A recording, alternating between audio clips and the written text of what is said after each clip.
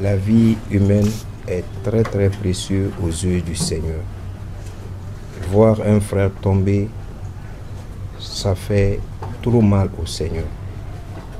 Dieu n'a pas créé la mort, il n'a pas voulu la mort. C'est la désobéissance humaine qui a amené la mort. Et certains de ces frères-là là, sont partis dans une douleur terrible. Une douleur terrible. Je ne peux, en tant que religieux et en tant que Guinéen, ne pas dire quelque chose sur ces frères et sœurs. Et aujourd'hui, comme hier, nous n'avons cessé de prier pour le repos des âmes de ces frères et sœurs guinéens. Et nous allons continuer à prier. C'est pourquoi dans mon homélie encore, j'ai exhorté le gouvernement à nous aider à comprendre réellement ce qui s'est passé. Ce qui s'est passé durant la nuit du 17 au petit matin du 18 décembre.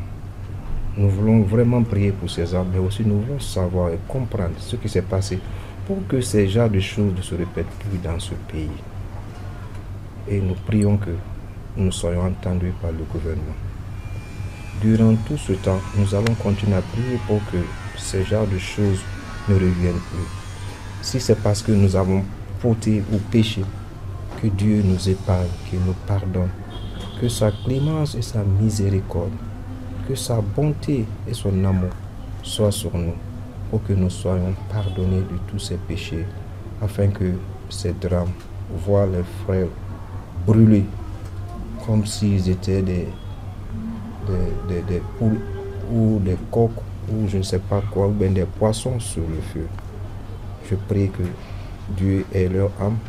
Il ne s'agit pas simplement de décréter des deuils ou bien des journées de deuil, ou bien d'inviter la population à venir contribuer pour ces sinistrés. Il s'agit aussi d'aider ces Guinéens à comprendre ce qui s'est passé. Et là, c'est mon, mon cri d'alarme auprès du gouvernement, que nous puissions comprendre ce qui s'est passé et prier pour que ce genre de choses ne se répètent pas. Vous savez, pour aller devant le Seigneur, il faut aller avec des sujets, avec des intentions. Il faut dire au Seigneur réellement, c'est ça que je veux, c'est ce qui m'est arrivé. Et je ne pas que cela m'arrive à, plus ou prochainement. Aide-moi, Seigneur, à, éviter ça. Donc voici pourquoi j'ai beaucoup parlé et j'ai exhorté les anglicans à se calmer. Ce n'est pas le moment de s'échauffer, c'est le moment de prier, de se repentir. Ce pays-là a besoin de la repentance. Nous faisons trop de mal. Nous nous offensons jour et nuit. Il faut que nous nous repentions aux yeux du Seigneur et que nous puissions nous voir entre nous d'abord et nous dire, nous nous pardonnons. Je te pardonne toi mon frère, je te pardonne toi ma soeur. Il faut que le Guinéen apprenne cela. Il ne faut pas que tout soit autour de la politique pouvoir, pouvoir. Et c'est ce qui gâte aujourd'hui ce pays. Tout le monde veut avoir le pouvoir, même ceux qui ne méritent pas. Et nous devons savoir dans ce pays qu'il n'y a pas une autorité, qu'il n'y a pas un pouvoir qui nous vient de Dieu. C'est Dieu qui prend une portion de son autorité, une petite partie de son pouvoir et l'octroie à un citoyen. Et quand il te lève, nous devons apprendre à respecter et à suivre celui que Dieu a élevé et en autorité et en pouvoir. Je pense que si nous comprenons cela, vraiment notre pays ira très loin.